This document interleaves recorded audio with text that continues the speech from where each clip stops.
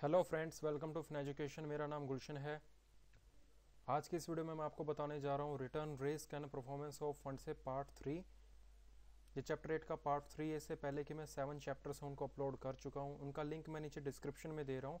आप उन्हें वहाँ से जा करके देख सकते हैं। ये चैप्टर एट का लास्ट पार्ट हो सकता है।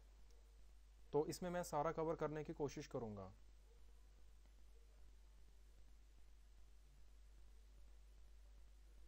चलिए टॉपिक देख लेते हैं इसमें quantitative measures of fund manager performance तो इसमें हम देखेंगे ऐसे कौन से क्वांटिटेटिव मेजरमेंट्स हैं जिनसे हम फंड मैनेजर की परफॉर्मेंस को काउंट कर सकते हैं।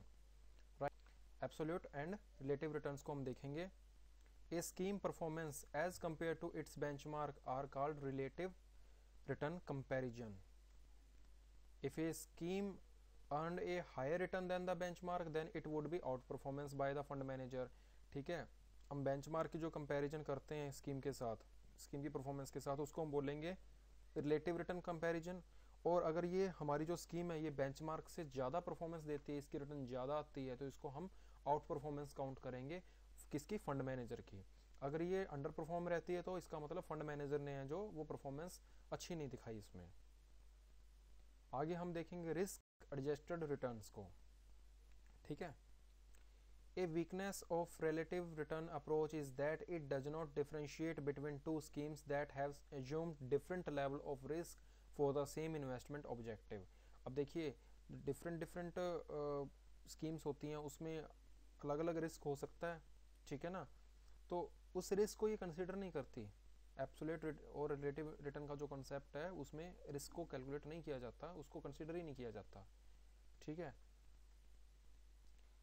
तो उसके लिए एक अलग अप्रोच है an alternative approach to evaluating the performance of fund manager is through the risk reward relationship ठीक है? हमें अगर किसी किसी भी स्कीम की अगर रिटर्न को हमें अगर कैलकुलेट करना है और उसको हमने कंपेयर करना है बेंचमार्क के साथ तो हमें डेफिनेटली उसका जो रिस्क फैक्टर है, उसको इग्नोर नहीं करना चाहिए। तो वो देखेंगे हम, उसको कैसे इग्नोर नहीं करना। The various measures of risk adjusted returns are Sharpe ratio Treynor, ratio, alpha और ट्रैकिंग एरर, ठीक है? तो इनको हम आगे डिटेल में देखेंगे। शार्प रेशो को, ट्रेनो रेशो को, अल्फ़ा को और ट्रैकिंग एरर को। ये इसमें इस, इनके थ्रू आपको रिस्क एडजस्टेड रिटर्न्स का पता लगेगा, ठीक है? तो सबसे पहले हम देखेंगे Sharpe ratio. Risk premium is compared with the risk taken, ठीक है? जितना भी हमारा रिस्क का प्रीमियम, उसको हम रिस्क जो लिया जा रहा है, उसके साथ कंपेयर करेंगे। मतलब risk to reward ratio, simply अगर हम कहें तो। पे हम कितना रिस्क ले रहे हैं, कितना रिस्क लेने पे हमें कितना रिवॉर्ड मिल रहा है। Sharpe ratio uses standard deviation as a measures of risk standard deviation कैसे निकलता है? स्क्वायर रूट ऑफ़ वेरिएंस ठीक है? और जो स्टैंडर्ड डेविएशन है, उसको यूज़ करके हम शार्प रेशो को कैलकुलेट करते हैं। अब ये इसका फॉर्मूला है शार्प रेशो का। इसको डिटेल में देखते हैं क्या है इसमें फॉर्मूले में।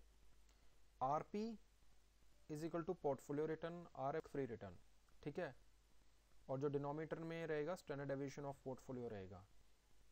हमने क्या करना है? पोर्टफोलियो रिटर्न है, उसमें से रिस्क फ्री रिटर्न को माइनस करके स्टैंडर्ड एविएशन से उसको डिवाइड कर देना है, ताकि हमारे को अपनी जो शार्प रेशो है, उसकी कैलकुलेशन का पता लग सके।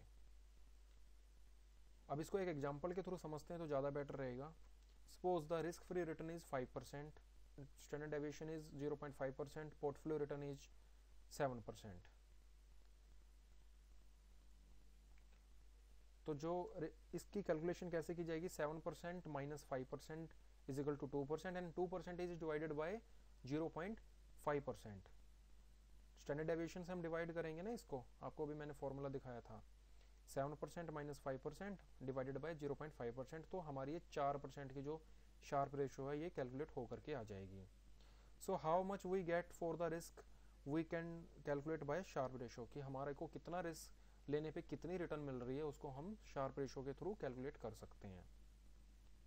Higher the Sharpe ratio better the scheme is consider to be अगर जितनी ज़्यादा शार्प रेशो होगी, उतना ही उसको बेटर समझा जाएगा। ठीक है? आगे हम देखेंगे ट्राइनो रेशो के बारे में। Risk premium is compared with the risk taken reward to volatility ratio ठीक है? रिवॉर्ड टू वॉलिटिलिटी रेशो पीछे हमने देखा था risk to reward ratio Treynor ratio है जो वो रिवॉर्ड टू वॉलिटिलिटी रेशो पे काम करती है. Sharpe ratio uses beta as measurement of risk यहाँ गलत हो गया, यहाँ पे शार्प रेशो आ रहा है. शार्प रेशो की जगह पे यहाँ पे ट्रेनो रेशो आएगा, आप इसको करेक्ट कर सकते हो. राइट यहाँ शार्प रेशो नहीं है. शार्प रेशो की जगह यहाँ ट्राइनो रेशो आएगा. ये टाइपिंग मिस्टेक है. इसमें बीटा को मेज़रमेंट ऑफ़ रिस्क कैलकुलेट किया जाता है क्योंकि बीटा है वो ही वोलेटिलिटी को काउंट करता है। बीटा की वैल्यू जो मैंने आपको बताई थी ग्रेटर देन वन है तो हाईली वोलेटाइल है लेस देन वन है तो लो वोलेटाइल है। ये वो बीटा है जिसकी बात मैं यहाँ पर कर रहा हूँ। तो इसमें यहाँ शार्प रेशो गलती से लिखा गया यहाँ पे आप ट्रेनो रेशो कर सकते हो। सो so, इसका ये फॉर्मूला रहेगा return of portfolio minus risk free return divided by beta. ठीक है? डिनोमिनेटर में इसका बीटा आ जाएगा और शार्प रेशो की जब बात कर रहा था, उसमें मैं स्टैंडर्ड डेविएशन को डिनोमिनेटर में रख रहा था। इसके एक एग्जांपल देख लेते हैं। देखिए रिस्क फ्री रिटर्न जो वो फाइव परसेंट है। बीटा जो है वन पॉइंट टू परसेंट है और पोर्टफोलियो रिटर्न है जो वो एट परसेंट है।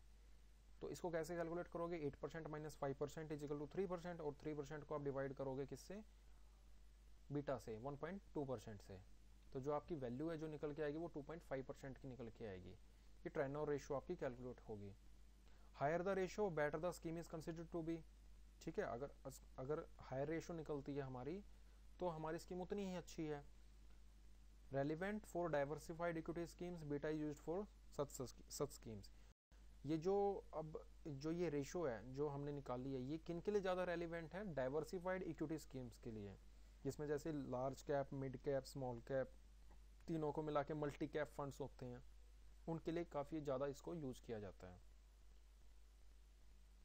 आगे हम देखेंगे alpha alpha is the difference between a scheme actual return and its benchmark return right जो बेंचमार्क रिटर्न है और जो स्कीम की एक्चुअल रिटर्न आई है, इन दोनों के बीच का जो डिफरेंस होगा वो अल्फ़ा कहलाएगा.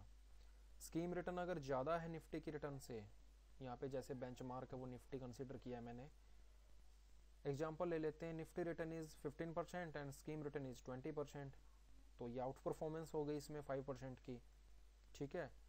तो alpha measure the fund manager performance positive alpha means out performance and negative alpha means under performance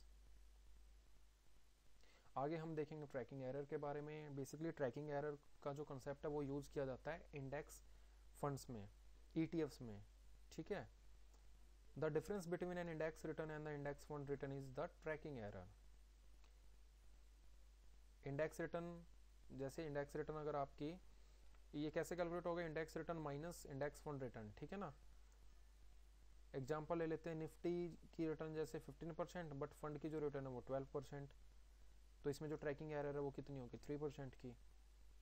Lower the tracking error better the scheme higher the tracking error तो समझिए कि जो स्कीम है उसने बेटर परफॉर्म नहीं किया. Basically tracking error आती कब है? आपके मन में ये सवाल आ रहा होगा कि ट्रैकिंग एरर क्यों आएगी? जब जब जो स्कीम है वो इंडेक्स को ही प्रॉपर फॉलो कर रही है, जो इंडेक्स की वेटेज के अकॉर्डिंगली वो अपनी इन्वेस्टमेंट कर रही है तो फिर ट्रैकिंग एरर कैसे हो जाएगी? ट्रैकिंग एरर हो जाएगी उसमें, क्योंकि कोई भी स्कीम है जो अपनी वो पोर्टफोलियो को पूरे को इन्वेस्ट नहीं करती है सिक्योरिटीज में, वो कुछ पार्ट अपना लिक्विड फंड्स में लगा करके रखती है वो स्कीम ताकि कोई भी रिडम्शन आए तो उसको, उसे निपटा जा सके। अगर यूनिट होल्डर अपनी रिडम्शन करवा रहे हैं या फिर एडिशनल फंड आ रहे थे। तो इस दौरान क्या होता है कि इसमें ट्रैकिंग एरर्स बन जाती हैं। किसी वक्त में इन्वेस्टमेंट हो रही है, किसी वक्त पे उसमें चर्निंग रहती है जब पोर्टफोलियो में स्कीम के तो ट्रैकिंग एरर जो है वो उसमें नॉर्मली देखने को मिल जाती है हमारे को। सो so फ्रेंड्स इसी के साथ ही हमारा जो चैप्टर एट है वो ख़त्म हो जाता है। रिटर्न रिस्क एंड परफॉर्मेंस वाला जो पार्ट है वो ख़त्म हो जाता है इस ट्यूटोरियल से। तो ये वीडियो अगर आपको अच्छी लगी तो इसको लाइक कीजिए चैनल को सब्सक्राइब कीजिए अपने फ्रेंड्स के साथ इसको शेयर कीजिए कमेंट करके आप मुझसे डाउट पूछ सकते हो मुझे पत, पक्का पता है इसमें आपको कुछ ना कुछ डाउट मिलेगा इस चैप्टर में आपको कोई ना कोई डाउट ज़रूर आया होगा और ये चैप्टर काफ़ी इंपॉर्टेंट भी है इसमें से आपसे around eight to ten marks के जो क्वेश्चन हैं वो आपसे पूछ लिए जाएँगे तो thanks again friends for watching this video Have a nice day.